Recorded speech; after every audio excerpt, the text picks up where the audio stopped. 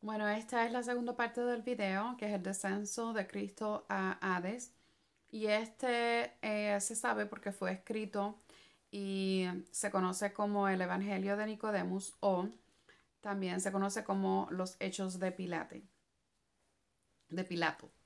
Em, no se considera escritura porque no está incluido en la Biblia, pero es parte de la tradición de la Iglesia Ortodoxa y en base a este se han hecho muchos himnos el icono de la temporada de Cuaresma también ha sido inspirado en lo que les voy a contar ahora. Y pues es en lo que creemos nosotros, que pasó después de la crucifixión de Jesucristo y antes de, de que Él ascendiera al cielo con su Padre. El capítulo 1, voy a estar traduciéndoles de eh, inglés a español, así que me perdonan si me confundo. Voy a tratar de no confundirme tanto. Capítulo 1. José dice, y se maravillan de que Jesús se ha levantado de entre los muertos, pero no es maravilloso que Él no se ha levantado solo, sino que ha traído con Él muchos otros muertos que aparecieron en Jerusalén a muchas personas. Y si no conoces a los otros, a Simeón por lo menos, quien recibió a Jesús y a sus dos hijos, que Él también resucitó, a ellos por lo menos los tienes que conocer. Porque los enterramos no hace mucho y sus tumbas ahora están abiertas y vacías y ellos están vivos y viviendo en Arimatea. Entonces, a las personas que él le está diciendo esto, enviaron hombres y encontraron que las tumbas en efecto estaban vacías y abiertas. Y José les dijo, pues entonces vamos a Arimatea a encontrarlos. Hicieron un grupo y en este grupo se encontraba Anas, Caifás, José, Nicodemos, Gamaliel y otros, junto por supuesto con José. Y fueron a Arimatea y allí los encontraron. Y ellos entonces rezaron, se saludaron unos a los otros.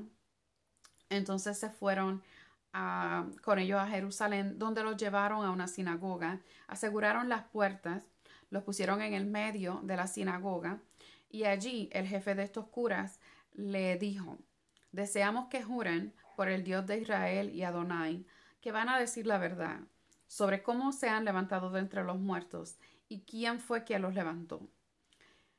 Entonces los hombres, habiendo escuchado esto, se levantaron, hicieron el signo de la cruz eh, sobre sus eh, caras y pidieron que les dieran papel, tinta y algo con que escribir.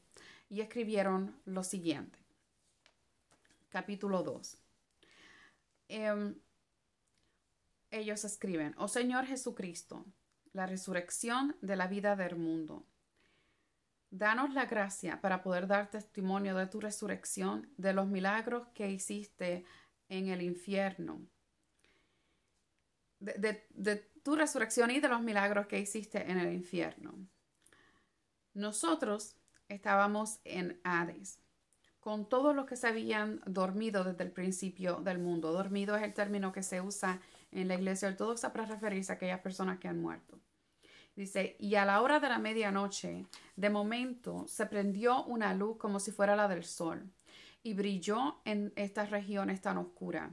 Y nosotros quedamos iluminados y por fin nos pudimos ver unos a los otros. Y rápido, nuestro padre Abraham se reunió con los patriarcas y con los profetas a la misma vez tenían un gozo muy grande y nos decíamos unos a los otros, esta luz ha tenido que venir de una gran fuente. El profeta Isaías, que estaba allí presente, nos dijo, esta luz viene del Padre, del Hijo y del Espíritu Santo y esto, esto es algo que yo profeticé cuando estaba vivo y les dije, de la tierra de Zabulón y de la tierra de Neftalí la gente que se sienta en las tinieblas verán una gran luz. Y entonces pasa que, que viene otro ascético del desierto y se le acerca a los patriarcas y les dice, y, y, los patriarcas le dicen a este, ¿quién eres tú? Y él les contesta, yo soy Juan, el último de los profetas. Soy quien hizo los senderos del Señor, del Hijo de Dios derechos y el que proclamó que la gente se arrepintiera para la remisión de sus pecados. Y el Hijo de Dios vino a mí, y yo viéndolo desde lejos, le dije a la gente, He aquí el Cordero de Dios que quita el pecado del mundo, y con mi mano lo bauticé en el río Jordán. Y vi una paloma, que era el Espíritu Santo, que vino hacia él, y escuché la voz de Dios el Padre que dijo, Este es mi amado Hijo en quien estoy complacido. Y por esto Él me ha enviado a ustedes para que les proclame cómo el Hijo de Dios va a venir aquí, para que quien quiera que cree en Él sea salvado, y quien quiera que no crea en Él sea condenado. Sea condenado. De esto les voy a decir una cosa importante, para que cuando lo vean lo puedan adorar. Esto solamente va a pasar ahora el tiempo de arrepentimiento por haber adorado ídolos en el mundo de arriba y por haber cometido tantos pecados va a ser ahora, pero después de hoy, después de este momento, será imposible en cualquier otro momento. A lo que esto se refiere es que mientras estamos vivos podemos arrepentirnos. Una vez morimos ya no nos podemos arrepentir. En el, caso de ellos se, hizo una excepción porque ellos no conocían a Jesús, no habían recibido la revelación de quién es Jesús. Así que en este momento la iban a recibir y por eso podían ser redimidos. Pero de ese momento en adelante, cualquier persona que muere y va al infierno, una vez en el infierno, no puede arrepentirse. o una persona que muere no puede arrepentirse. Entonces, eh, Juan em, empezó a enseñar estas cosas en, Hades. Eh, y el primero que fue creado, Adán, le dijo a su hijo Seth, mi hijo, deseo que le digas a los padres precursores de la raza del hombre y a los profetas que yo te envié, a, a donde te envié cuando me senté, me sentía que iba a morir. Y Seth dijo, Profetas y patriarcas escuchen.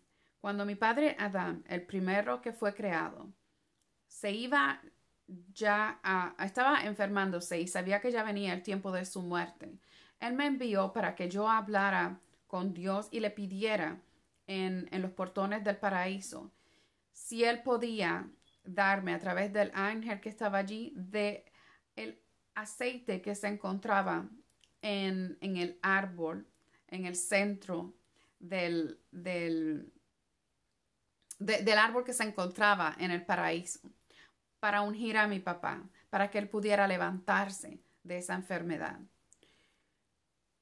Y entonces yo fui y lo hice. Cuando yo recé al ángel, cuando yo recé, el ángel del Señor vino y me dijo, Seth, ¿qué es lo que tú me estás pidiendo? ¿Tú pides el aceite para levantar a los enfermos o me pides el árbol del que fluye este aceite? Porque tu papá está enfermo. Esto no lo puedes tener ahora.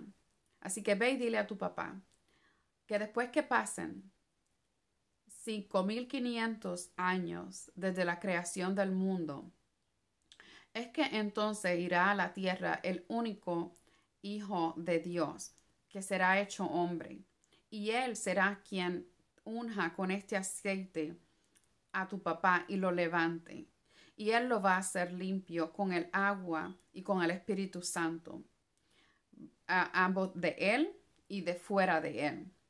Y él será curado de todas las enfermedades. Pero ahora esto no es posible. Y cuando los patriarcas escucharon estas palabras, ellos se emocionaron y se alegraron muchísimo.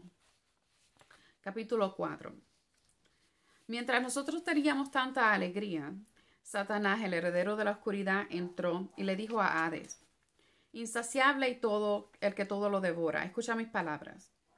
Aquí hay uno de la raza de los judíos que se llama Jesús, que se dice a sí mismo el Hijo de Dios, pero que es hombre. Eh, así que yo eh, usé a los mismos judíos para que lo crucificaran y ahora él está muerto. Y ya está listo para que lo aseguremos aquí. Porque yo sé que él es un hombre porque él mismo lo ha dicho. Mi alma está bien triste, incluso con su muerte, porque Él me ha hecho muchas cosas malas mientras vivía eh, con los mortales en, en el mundo de arriba. Cada vez que encontraba a mis sirvientes los perseguía. Cada vez que yo hacía que alguien estuviera roto, fuera ciego, no pudiera caminar, tuviera lepra o cualquier cosa, con una sola palabra los curaba. Y a muchos de ellos que yo enterré, también iba con una palabra, los volvía a la vida. Hades le dijo, y este hombre es tan poderoso que puede hacer todas esas cosas con una sola palabra. Y si es así, tú puedes enfrentarlo. Me parece a mí que si es así, no va a haber quien lo pueda enfrentar. Y tú dices que tú lo has escuchado burlándose de la muerte, burlándose de ti, riéndose, deseando agarrarte con su, mano poderosa y poniéndote en, en exilio para toda la eternidad. Satanás entonces dice, insaciable y quien todo lo devora, Hades. ¿Tienes miedo porque estás escuchando de nuestro enemigo común? Yo no le tuve miedo, pero usé a los judíos para que lo crucificaran y también hice que le dieran vinagre. Así que está listo para que lo agarre, porque por ahí va a venir. Hades entonces le contestó, heredero de la, de la oscuridad, hijo de la destrucción, maligno. Em, me acabas de decir que todos los que tú has estado listo para enterrar, Él los lleva a la vida con una sola palabra. Y que Él ha sacado a muchos de la tumba. Eh, ¿Y con qué poder tú dices que nosotros lo vamos a agarrar? Mira, no hace mucho yo me tragué uno que estaba muerto, Lázaro. Y no mucho después que me lo tragué, eh, alguien que estaba vivo con una sola palabra me lo arrancó con una fuerza bruta de mis entrañas. Y yo creo que es de ese que tú estás hablando. Así que si nosotros lo recibimos aquí, yo tengo miedo que va a ponernos en peligro. Porque mira que todos los que me he ha tragado yo por eternidad, Estoy percibiendo que tienen como una conmoción ahora y tengo yo un dolor en mi barriga. Siento ese dolor que me dio antes de que Lázaro me lo arrancaran. Ese mismo dolor lo estoy sintiendo. Y no es un dolor que viene como de un cuerpo muerto, pero es como si fuera un águila que salió fuera de mí. Eso mismo es lo que estoy sintiendo. Es como si la tierra misma lo hubiera botado fuera de mis entrañas. Así que yo te digo, por tu beneficio y por el mío, no lo traigas aquí, porque yo creo que este viene para levantar a los muertos.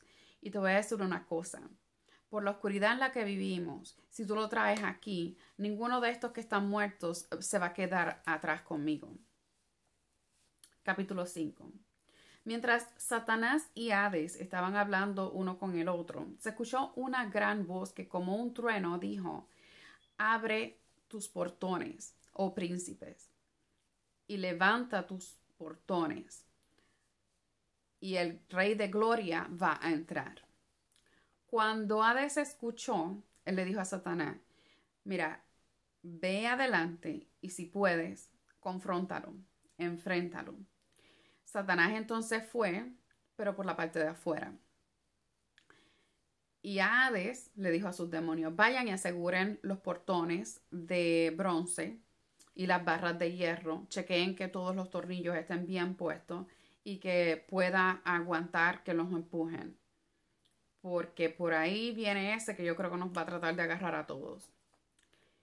Los padres precursores, habiendo escuchado esto, empezaron a regañarlo, diciendo, Oh insaciable y el que todo lo devora, abre, que el rey de gloria va a entrar. David dijo, ¿No te recuerdas, oh ciego, de cuando yo vivía y te profeticé diciendo, abre tus portones, oh príncipe? Isaías dijo, yo vi esto gracias al Espíritu Santo y escribí que los muertos iban a levantarse y de sus tumbas se iban a levantar y aquellos en la tierra se iban a alegrar. ¿Y dónde, oh muerte, está tu ponzoña? ¿Dónde, oh Hades, está tu victoria? Entonces escuchó otra voz que dijo, levanten los portones. Hades, escuchando esa voz la segunda vez, contestó como si no supiera nada y dijo, ¿quién es el Rey de Gloria? Y los ángeles del Señor dijeron, el Señor es fuerte y poderoso, el Señor poderoso en batalla. E inmediatamente con estas palabras, los portones de bronce cayeron al piso hecho pedazos. Las barras de hierros se quebrantaron y todos los muertos que habían estado allí salieron de sus prisiones y nosotros con ellos. El Rey de Gloria vino en la forma de un hombre y todos y todos los lugares oscuros de Hades fueron iluminados. Eso contesta la, la pregunta que alguna gente piensa que él solo fue a los lugares donde estaba Abraham, como a un infierno bueno. Pero no, él fue a todos los lugares de Hades. Capítulo 6. Inmediatamente Hades lloró. Hemos sido conquistados, ay de nosotros. Pero ¿quién eres tú que tienes tanto poder y, y, y fuerza? ¿Y qué eres tú que vienes aquí sin ningún pecado y te ves tan pequeño y tienes tanto poder? tan bajo y tan exaltado, tan esclavo, pero eres el dueño, tan soldado y eres un rey. ¿Quién te ha dado poder sobre los muertos y sobre los vivos? Tú estuviste en una cruz y te pusimos en una tumba y ahora estás libre y has destruido todo nuestro poder. Tú eres el Jesús del que Satanás nos dijo, el que a través de una cruz y la muerte ha heredado todo el mundo. Y entonces el rey de gloria agarró a Satanás por la cabeza y se lo dio a los ángeles, diciéndole, amárrenlo con cadenas, amárrenle las manos, las piernas y el cuello y su, y su boca también. Entonces se lo dio a Hades y le dijo, agárralo y manténlo seguro en tus entrañas hasta que yo venga por segunda vez. Capítulo 7. Hades recibió a Satán, a, Satanás, y le dijo, y le dijo, Bersebul, heredero del fuego y del castigo, enemigo de los santos, ¿por qué, qué necesidad tenías de traer aquí al Rey de Gloria? ¿Qué necesidad tenías de que lo crucificaran para que viniera aquí y nos deprivara de nuestro poder? mira que todos los muertos se han ido y me han dejado vacío. Que todo lo que tú ganaste a través del árbol del conocimiento lo has perdido a través del árbol de la cruz. Toda nuestra alegría se ha tornado ahora en sufrimiento. Por tu desear darle muerte al Rey de Gloria, tú mismo te has puesto en muerte. Así que yo te he recibido para mantenerte seguro aquí. Pero entonces vas a experimentar todas las maldades, todas las cosas malas que yo te puedo hacer.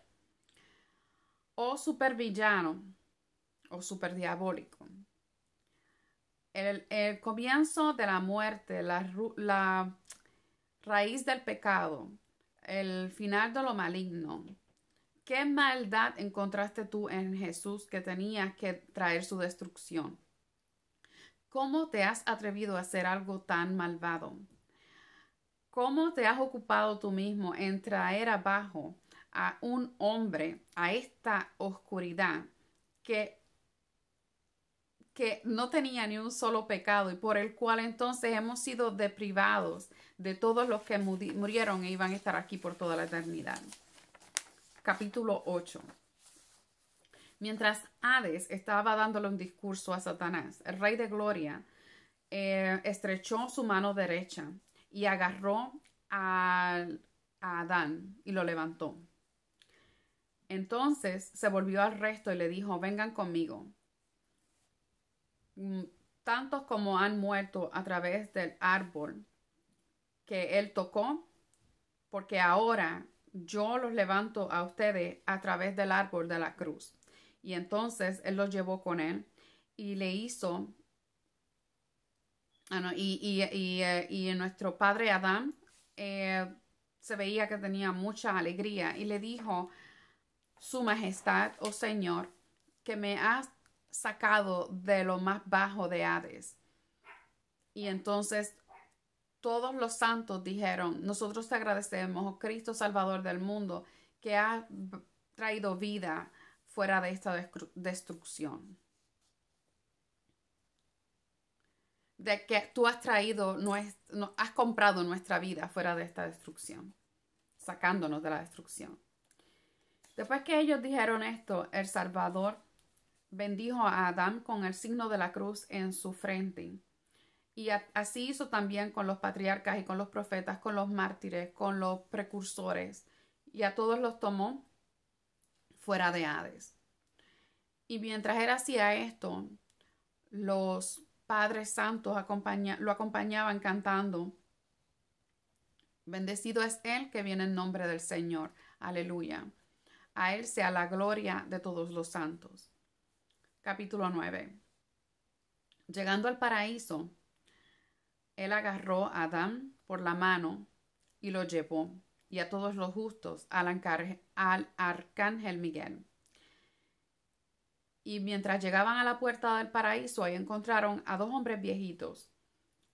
Eh, y los santos padres le dijeron, ¿quiénes son ustedes? ¿Cómo están aquí si ustedes no han visto la muerte? ¿Cómo es que no siquiera han ido a Hades, pero están aquí con su cuerpo y con su alma? Y uno de ellos le contestó y le dijo, yo soy Enoch, quien complació al Señor. Eh, yo, fue, yo fui trasladado aquí por él. Y este es Elijah, o eh, Elías, quizá Elías, em, quien también vivirá aquí hasta el final del tiempo. Y entonces vamos a ser enviados por Dios para enfrentar al anticristo y para ser matados por él. Y después de tres días nos vamos a levantar de nuevo y entonces vamos a ser, a ser llevados en las nubes a encontrarnos con el Señor. Y entonces mientras ellos hablaban, llegó otro hombre que se veía que había tenido una vida bien mala, cargando algo, cargando una cruz en sus hombros, y le dijo a los santos padres, los santos padres le dijeron a él, ¿quién eres tú que pareces un pillo? ¿Y qué es esa cruz que estás cargando en tus hombros? Y él le contestó, yo como ustedes dicen, fui un pillo en el mundo de arriba. Y por estas cosas los judíos me crucificaron eh, junto con nuestro Señor Jesucristo. Mientras yo estaba allí, em, colgado de la cruz, eh, viendo los milagros que fueron hechos, creí en Él y le pedí, Señor, cuando seas el rey no me olvides. E inmediatamente él me dijo a mí, amén, amén, hoy te digo a ti que vas a estar conmigo en el paraíso. Y entonces yo llegué al paraíso cargando mi cruz y encontré al arcángel Miguel y le dije, nuestro Señor Jesucristo ha sido crucificado y él me envió aquí. Por favor, llévame al portón del Edén. Y, eh, y su flamante espada, viendo el signo de la cruz, me abrió y yo entré. Me abrió el portón y yo entré. Entonces el arcángel me dijo, espera un poquito aquí, porque también va a venir Adán, el padre de toda la humanidad, con todos los justos. Y ahora que te estoy viendo, pues quiero que todos se encuentren aquí a la misma vez. El santo escuchando estas cosas, eh, dijo en una alta voz, grande es el Señor y grande es su fuerza. Capítulo 11. Todas estas cosas vivos y escuchamos. Nosotros, los dos hermanos, también hemos sido enviados aquí eh, por Miguel el Arcángel. Y también hemos sido ordenados a proclamar la resurrección del Señor. Pero primero a ir al Jordán y ser bautizados. Entonces, hemos ido y hemos sido bautizados con el resto de los muertos quienes se han levantado. De aquí en adelante, vamos entonces a Jerusalén a celebrar la Pascua, a, celebrar la Pascua de Resurrección. Pero entonces ahora nos tenemos que ir porque no nos podemos quedar aquí. Y el amor de Dios, del Padre, la gracia de nuestro Señor Jesucristo y la comunión del Espíritu Santo sea con todos ustedes. Habiendo escrito estas cosas, aseguraron los rollos en los que habían escrito, le dieron la mitad a los curas y la otra mitad a José y Nicodemus. Y ahí inmediatamente desaparecieron. Para la gloria de nuestro Señor Jesucristo. Amén. Y esa es la historia de lo que sucedió en el infierno inmediatamente después de la crucifixión de Jesús. Y entonces en otro video voy a discutir el icono de el descenso de Jesús a los infiernos y todo su significado. Gracias por su tiempo.